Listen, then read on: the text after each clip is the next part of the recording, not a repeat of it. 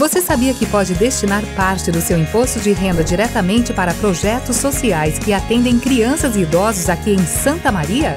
E o melhor, que você pode fazer isso com apenas dois cliques? Acesse santamaria.rs.gov.br barra Imposto Solidário e faça sua doação. Imposto Solidário 2023. Participe desta corrente do bem.